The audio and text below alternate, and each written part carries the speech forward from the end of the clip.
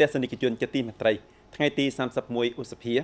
សម័យប្រជុំលើកទី3នៃរដ្ឋសភា បានធ្វើការពិភាក្សាអំពីខ្លឹមសារមួយចំនួន ដែលនៅ មានយោបល់ខុសគ្នាក្នុងពង្រៀងច្បាប់វិសោធនកម្មមាត្រាមួយចំនួននៃច្បាប់កម្មសិទ្ធិបញ្ញា ពង្រៀងច្បាប់បំពេញនេះកំណត់ថាការផ្សព្វផ្សាយប្រព្រឹត្តទង់ជាតិសញ្ញាជាតិចម្រៀងជាតិតាមសេចក្តីកំណត់នៃច្បាប់អង្គការបុគ្គលអនុវត្តកម្មសិទ្ធិបញ្ញាពាក់ព័ន្ធដល់ទង់ជាតិសញ្ញាជាតិចម្រៀងជាតិមិនអោយររាំងដល់ការផ្សព្វផ្សាយប្រព្រឹត្តទង់ជាតិសញ្ញាជាតិចម្រៀងជាតិតំណាងជាច្រើនសម្ដែងការចាប់អារម្មណ៍ដល់បញ្ហានេះមិនអោយរារាំងដល់ការផ្សព្វផ្សាយ តំណាងមួយចំនួនមានយោបល់ថាក្នុងសម័យកាលដែលពិភពលោកកាន់តែបានបើកទូលាយដោយសពថ្ងៃនេះកម្មសិទ្ធិបញ្ញាក្លាយជាកម្លាំងនៃការផ្ទេរនិងប្រាបច្ចេកវិទ្យាកំណត់ឆ្នៃប្រឌិតថ្មីផ្ដើមអាជីពនិងក៏ជាវិធីដើម្បីជំរុញដំណើរសមរណកម្មអន្តរជាតិដែរហេតុនេះត្រូវតែឆាប់ធ្វើឲ្យសុក្រិតខាងច្បាប់ស្របនឹងស្ថានភាពនិងលក្ខណៈថ្មីឱកាសទិវាកុមារអន្តរជាតិលោកប្រធានរដ្ឋមៀងសុភុក បានអញ្ជើញមកសួរសុខទុក្ខនិងជូនអំណោយដល់កុមារពិការនៅមជ្ឈមណ្ឌលចិញ្ចឹមកុមារពិការហាណូយលោកប្រធានរដ្ឋផ្ញើវិចារសួរសុខទុក្ខដល់កុមារ127រូបដែលត្រូវកោថ្លង់និងពិការបញ្ញា កំពុងបានចិញ្ចឹមថែទាំស្ដារកាយនីតិសម្បទានិងបង្រៀនវប្បធម៌នៅមជ្ឈមណ្ឌលរួមជាមួយកុមារពិការកុមារកំព្រាដែលកំពុងបានថែទាំនៅជាង100មូលដ្ឋានថែទាំកុមារកំព្រានិងក្មួយៗដែលកំពុងរៀនសូត្រក្នុងប្រព័ន្ធសាលា SOS ក្នុងប្រទេសទាំងមូលលោកប្រធានរដ្ឋឲ្យដឹងថាសប្តាហ៍ថ្ងៃនេះថ្មីបើនៅមានការលំបាកច្រើនប៉ុន្តែរដ្ឋនៅតែចំណាយថវិកាមួយភាគសម្រាប់ឲ្យការថែទាំ ចិញ្ចឹមបំពន់កុមារពិការប្រហែល10,000នាក់ក្នុងប្រទេសទាំងមូលលោកប្រធានរដ្ឋបានផ្ញើវាចាអំណរគុណនិងចែករំលែកដល់លោកគ្រូអ្នកគ្រូក្នុងបណ្ដាសាលាថែទាំកុមារពិការនិងសាលា SOS ក្នុងប្រទេសទាំងមូលឱកាសនេះលោកប្រធានរដ្ឋងឿនសុងភុកអំពាវនាវប្រជាជនក្នុងប្រទេសទាំងមូលចូលផ្ដល់ឲ្យកុមារនៅអ្វីដែលល្អបំផុត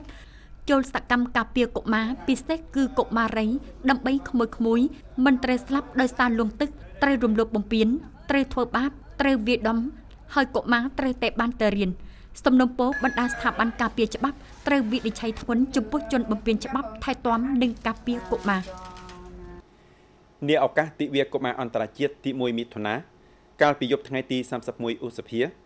លោកនាយករដ្ឋមន្ត្រីផាមិនជិនបានអញ្ជើញមកសួរសុខទុក្ខជូនអំណោយឲ្យកុមារកាត់ជំងឺដែលកំពុងតែព្យាបាលនៅមន្ទីរពេទ្យកុមារមជ្ឈិម លោកនាយករដ្ឋមន្ត្រីហ្វាមិនជិនមានចិត្តរំភើបយ៉ាងក្រៃលែងពេលបានអញ្ជើញមកសួរសុខទុក្ខមន្ទីរពេទ្យកុមារមជ្ឈិមលើកទី2តាំងពីដើមឆ្នាំមកដល់ពេលនេះសួរសុខទុក្ខលើកទឹកចិត្តនិងជូនអំណោយឲ្យកុមារកើតជំងឺដែលកំពុងតែព្យាបាលនៅផ្នែកសុខភាពអនិតិជននិងមជ្ឈមណ្ឌលមហារាជនាឱកាសទិវាកុមារអន្តរជាតិទី1មិថុនា ជូនពរឲ្យបងប្អូនឆាប់បានជាសះស្បើយមានកម្លាំងមមួនឆាប់បានវិលទៅផ្ទះវិលទៅសាលានិងរៀនសូត្រល្អលោកនាយករដ្ឋមន្ត្រី បានលើកទឹកចិត្តចែករំលែកនិងសាច់ញាតិរបស់បងប្អូនសូមឲ្យគ្រួសារទាំងឡាយពុះពៀឆ្លងកាត់ការលំបាកជឿជាក់លើកងជួរគ្រូពេទ្យរបស់មន្ទីរពេទ្យ លោកនាយករដ្ឋមន្ត្រី បានអរគុណវាតម្លៃខ្ពស់និងមានបំណងឲ្យគ្រូពេទ្យទាំងឡាយបន្តខិតខំប្រឹងប្រែងពុពាឆ្លងកាត់ការលំបាកសាឡបង បន្តលោកកម្ពស់ថ្វីដៃមុខជំនាញសិលធម៌ពេទ្យពង្រីកនៅស្មារតីគ្រូពេទ្យដូចអ្នកបដាយដើម្បីថែទាំល្អបំផុតឲ្យកុមារកើតជំងឺ ទាំងអំពីសុខភាព ស្មារតីធ្វើឲ្យមន្ទីរពេទ្យកុមារបៃឈឹមក្លាយជាមន្ទីរពេទ្យថ្នាក់ចុងក្រោយ បែបគំរូនៃទូទាំងប្រទេសក្នុងបរិបទត្រួតពិនិត្យបានជំងឺ Covid-19 លោកនាយករដ្ឋមន្ត្រី ស្នើឲ្យយកចិត្តទុកដាក់ច្រើនជាងទៀតដល់កុមារពិសេសគឺការងារពិនិត្យព្យាបាលជំងឺថែទាំសុខភាព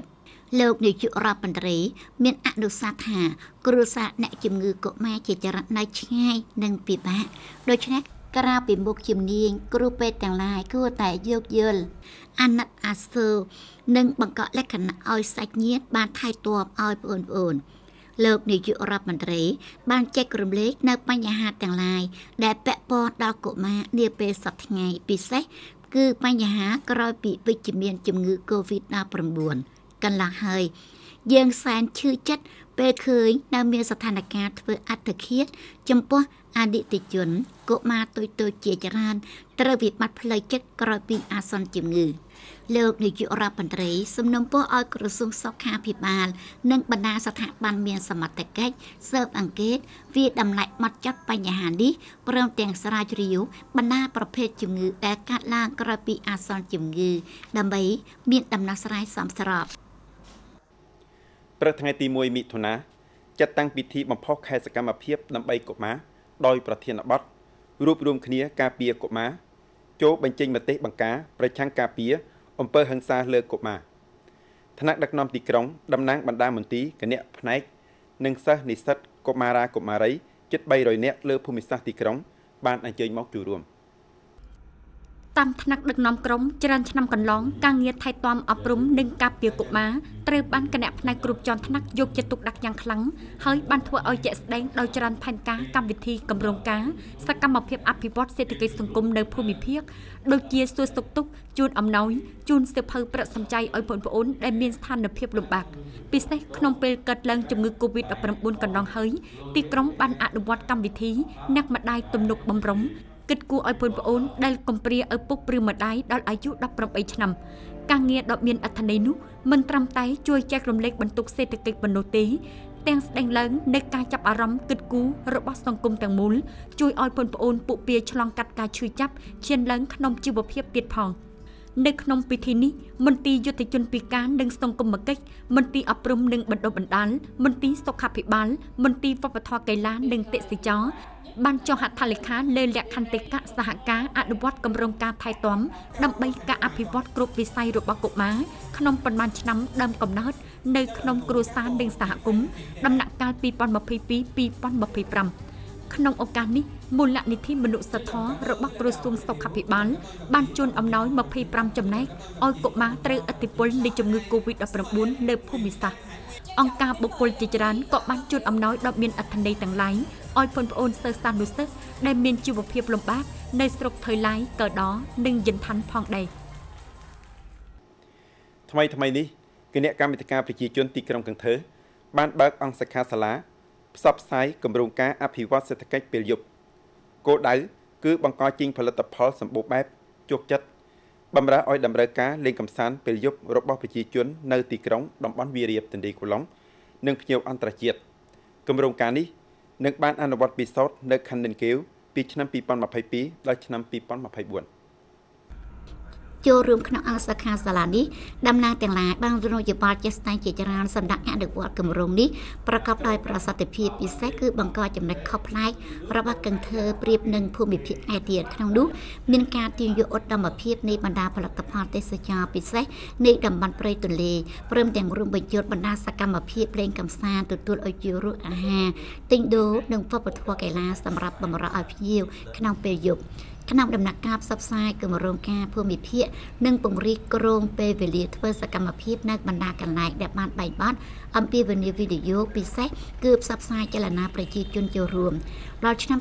2025ទីក្រុងនឹងដាក់ប័ណ្ណពិសោធន៍ព្រមទាំងពង្រីកទម្រង់នេះនៅបណ្ដាខណ្ឌស្រុកផ្សេងទៀតដែលមានសក្តានុភាពអភិវឌ្ឍរួមជាមួយកឹងធ្វើមាន9ភូមិភាគផ្សេងទៀតក្នុងប្រទេសក៏បានផ្សព្វផ្សាយអនុវត្តគម្រោងការអភិវឌ្ឍសេដ្ឋកិច្ចពេលយប់ តាមគម្រោងការរបស់នាយករដ្ឋមន្ត្រីដែររួមមានហាណូយ គួងនិន ហៃហ្វងទីក្រុងហូជីមិញដាណាំងហើយអាងធឺធីងវេដាឡាកនិងហ្វូវឹកព្រឹកថ្ងៃទី31ឧសភាសាលាមធ្យមសិក្សាបំពេញវិជ្ជាបាលីណាំបូបានចាត់តាំងពិធីបូកសរុបឆ្នាំសិក្សា2021-2022 ថ្មីបើអាសន្នជំងឺ Covid-19 អធិពលដល់សកម្មភាពអប់រំរបស់សាលាក្តីប៉ុន្តែដោយការសាមគ្គីសមូហភាពកម្មភិបាលគ្រូបង្រៀនបានបដិញ្ញាជំនះរាល់ការលំបាកដើម្បីសម្រេចល្អគោលដៅដែលបានដាក់ចេញក្នុងឆ្នាំសិក្សាសិក្ខាកម្មទាំងអស់សុទ្ធតែមានការខិតខំក្នុងការរៀនសូត្រប្រតិបត្តិល្អវិន័យនិងសេចក្តីកំណត់លទ្ធផលក្នុងចំណោមសិក្ខាកម្ម201អង្គនឹងរូបនៃឆ្នាំសិក្សានេះ មាន27អង្គសម្រាប់នីតិពូកែ108អង្គសម្រាប់នីតិក្រាន់បើមានសកាកម្ម32អង្គក្នុងចំណោម36អង្គគ្រប់លក្ខណៈពិនិត្យទទួលស្គាល់រៀនចប់អនុវិទ្យាល័យនិង37អង្គគ្រប់លក្ខណៈប្រឡងចូលរៀនកម្រិតវិទ្យាល័យក្នុងពិធីនេះសាលាបានជូនប័ណ្ណសរសើរដល់បណ្ដាគ្រូបង្រៀនដែលសម្រេចស្នាដៃឆ្នើមក្នុងចលនាប្រឡងប្រណាំងក្នុងគំនិតច្នៃប្រឌិតថ្មីក្នុងការគ្រប់គ្រង មានសកម្មកម្មពីរអង្គបានប្រធានគណៈកម្មាធិការប្រជាជនខេត្តជូនប័ណ្ណសរសើរអំពីស្នាដៃរៀនសូត្រពូកែទូទាំងកម្រិតសិក្សាអនុវិទ្យាល័យនិងវិទ្យាល័យជ្រោមជ្រែងទិវាពិភពលោកគ្មានបារី ទី31ឧសភា និងសប្តាហ៍ជាតិគ្មានបារីគណៈចង្អុលការបង្ការទប់ស្កាត់ផលប៉ះពាល់របស់បារីខេត្តដងថាបបានចាត់តាំងពិធីបំផុសជ្រោមជ្រែងព្រឹត្តិការណ៍នេះ ពិធីបំផុសតាកទាញបានសិស្សនិស្សិតជាង500នាក់ចូលរួមច្រើនឆ្នាំកន្លង មានច្រើនទម្រង់បង្ការប្រឆាំងផលប៉ះពាល់របស់បារី បានផ្សព្វផ្សាយដល់ខេត្តដងថាបកសាងសន្សំសន្សំនៅបរិស្ថានគ្មានផ្សែងបារី នៅតាមស្ថាប័នរដ្ឋបាលមូលដ្ឋានសុខាភិបាលនិងសាលារៀននៅក្នុងពិធីបំផុសមតិជាច្រើនបានចាត់ទុកថា ការបង្ខាតដោយសាកបារិកបង្កឡើងចំពោះសុខភាពសហគមន៍ចរណាកសាងបរិស្ថានគ្មានផ្សែងបារី គឺជួយកាត់បន្ថយនិន្នាការចូលចិត្តនឹងផ្សែងបារី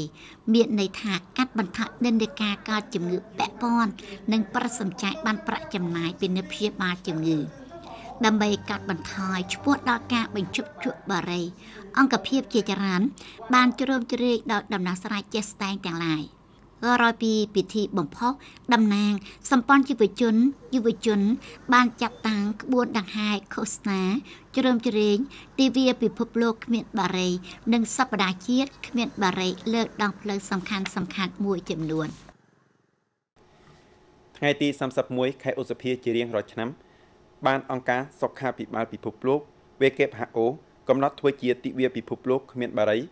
និងសារថា បារីជាការគម្រាមកំហែងដល់បរិស្ថានរបស់យើង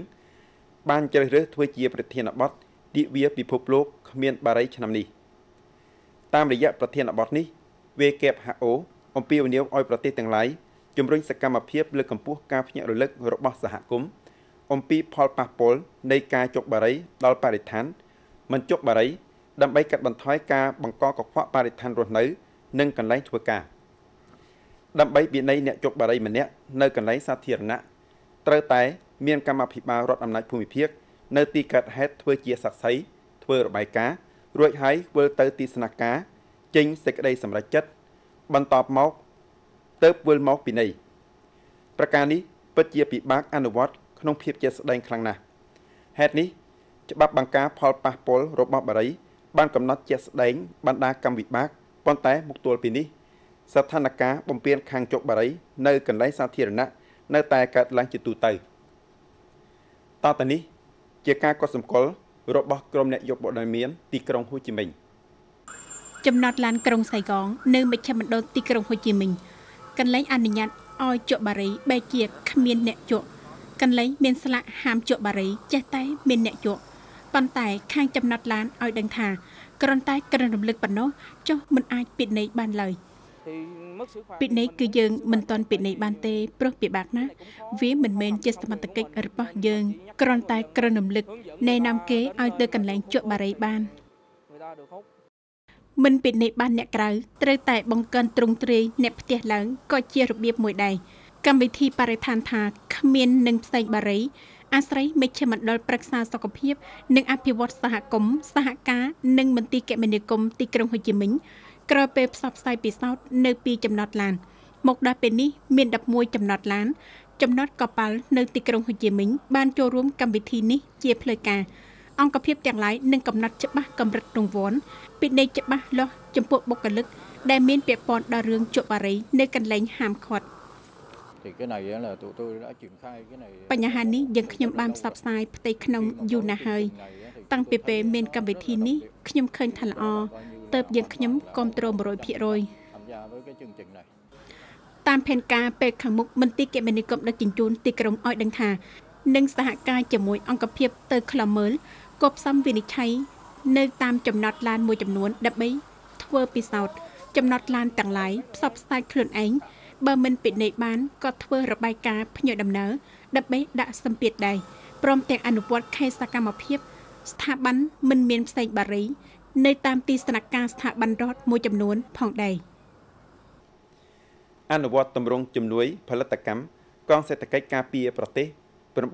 959នៃយោធភូមិភាគ9រួមជាមួយខេត្តដងថាប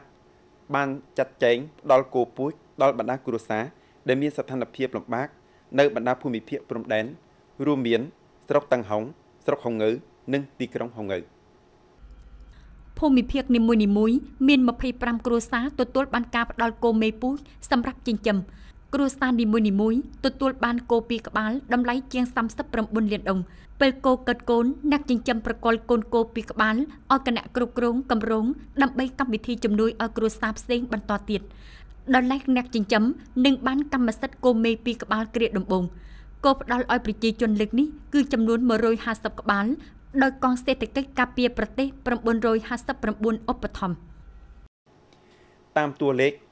ដែលអគ្គស្នងការស្ថិតិលើកឡើងប្រកាសឲ្យដឹងថា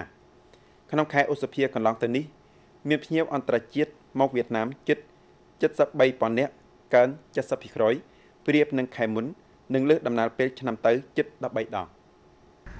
នេះជាលទ្ធផលនៃការបើកទ្វារប្រទេសនិងពង្រីកសកម្មភាពទេសចរទាំងស្រុងស្ដារមកវិញបណ្ដាផ្លូវហោះហើរអន្តរជាតិពិសេសគឺការចាត់តាំងជោគជ័យស៊ីហ្គេលើកទី